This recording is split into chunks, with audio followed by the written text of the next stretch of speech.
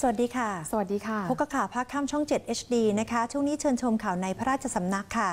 สมเด็จพระเจ้าอยู่หัวพระราชทานพระราชานุญาต ให้จัดงานอุ่นไอรักคลายความหนาวครั้งที่สองภายใต้ชื่องาน อุ่นไอรักคลายความหนาว สายน้ำแห่งรัตนโกสินทร์ระหว่างวันที่ 9 ธันวาคม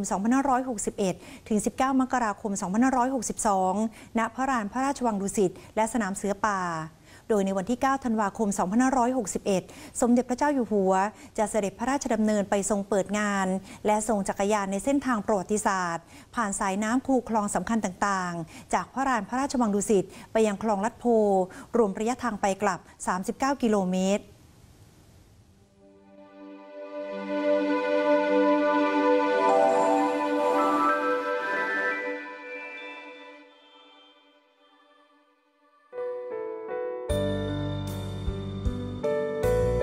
ย้อนกลับไปเมื่อรัชสมัยพระบาทสมเด็จพระจุลจอมเกล้าเจ้าอยู่หัว พุทธศักราช 2443 ทรงพระกรุณาโปรดเกล้าโปรดกระหม่อม ให้จัดงานฤดูหนาวขึ้นเป็นครั้งแรก เพื่อหารายได้สมทบทุนก่อสร้างวัดเบญจมบพิตรมีการออกร้านของพระบรมวงศานุวงศ์ เจ้านายฝ่ายหน้าและฝ่ายใน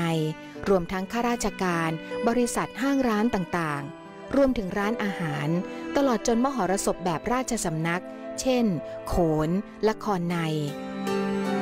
ในงานฤดูหนาวพุทธศักราช 2447 ได้ทรงตั้งร้านถ่ายรูปหลวง และทรงถ่ายรูปพระราชทานแก่เจ้านาย ข้าราชการและชาวต่างชาติด้วยพระบรมราชวิเทโสบาย ในการให้ประชาชนได้มีโอกาสใกล้ชิดกับพระองค์ และพระบรมวงศานุวงศ์ ผ่านการจัดงานออกร้าน ทั้งได้ร่วมทำบุญและได้ความสุขอิ่มเอมใจทั่วกัน ครั้นในรัชสมัยพระบาทสมเด็จพระมงกุฎเกล้าเจ้าอยู่หัว ก็ได้ทรงสืบสารพระราชปณิธานของพระบรมชนกนาถโปรดเกล้าโปรดกระหม่อมให้จัดงานฤดูหนาว เพื่อหารายได้สมทบทุนการกุศลต่างๆ ที่สนามสโมสรเสือป่า พระราชวังดุสิตบางปีย้ายไปจัดที่บริเวณพระตำหนักจิตรดารโหฐาน และต่อมาย้ายไปจัดที่พระราชอุทยานสรานรม และที่บริเวณสนามชัย ข้างพระราชอุทยานตามลำดับ ทรงออกร้านสตูดิโอถ่ายรูป ชื่อราชสาธิตสถาน จากงานฤดูหนาวในอดีต สมเด็จพระเจ้าอยู่หัวมหาวชิราลงกรณบดินทรเทพยวรางกูลทรงน้อมรำลึกถึงพระมหากรุณาธิคุณ ของพระบาทสมเด็จพระจุลจอมเกล้าเจ้าอยู่หัว และมีพระราชประสงค์ที่จะพระราชทานความสุขแก่ประชาชน จึงได้พระราชทานพระราชานุญาต ให้จัดงานในรูปแบบของงานฤดูหนาว เพื่อหวนรำลึกถึงบรรยากาศของงานฤดูหนาวเมื่อครั้งแรกเริ่ม สะท้อนความงดงามของประเพณีวัฒนธรรม และศิลปะแบบไทยๆภายใต้ชื่องาน อุ่นไอรักคลายความหนาวครั้งที่หนึ่ง เมื่อวันที่ 8 กุมภาพันธ์ พุทธศักราช 2561 ขึ้น ภาพและบรรยากาศและรอยยิ้มแห่งความสุข ช่วงเวลาที่มีค่านี้กำลังจะกลับมาด้วยสมเด็จพระเจ้าอยู่หัวมหาวชิราลงกรณบดินทรเทพยวรางกูล ได้พระราชทานพระราชานุญาต ให้จัดงานฤดูหนาวขึ้นเป็นครั้งที่สองในรัชสมัย ภายใต้ชื่อ อุ่นไอรัก คลายความหนาว สายน้ำแห่งรัตนโกสินทร์ ระหว่างวันที่ 9 ธันวาคม พุทธศักราช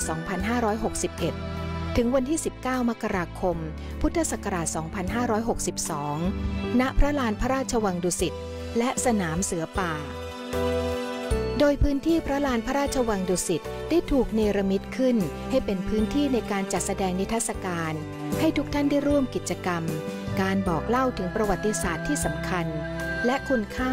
ของสายน้ำแห่งกรุงรัตนโกสินทร์ ชมความงดงามของแมกไม้นานาพันธุ์ และความงดงามของศิลปะสร้างแบบจำลอง พระที่นั่งกลางน้ำพระที่นั่งไอสวรรค์ทิพยอาจเรือพระที่นั่ง และรูปแบบอาคารบ้านเรือน ไล่เรียงจากต้นกรุงรัตนโกสินทร์จวบจนถึงปัจจุบัน นอกจากนี้ผู้เข้าร่วมชมงานจะได้เยี่ยมชมร้านค้าในพระบรมวงศานุวงศ์ ชิมอาหารจากตลาดบก ตลาดน้ำ ชมมหรสพ ตลอดจนร่วมทำบุญ โดยการซื้อสลากชิงโชค มัดฉาพาโชค และสลากการกุศล ชิงรางวัลมากมาย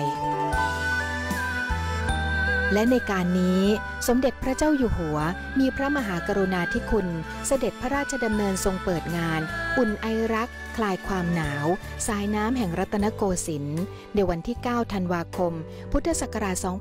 2561และจะทรงจักรยานในพิธีเปิดงานอุ่นไอรักคลายความหนาว ในเส้นทางประวัติศาสตร์ ผ่านสายน้ำคูคลองสำคัญต่างๆ อาทิ คลองมหานาค คลองพดุงกรุงเกษม คลองหลักของกรุงรัตนโกสินทร์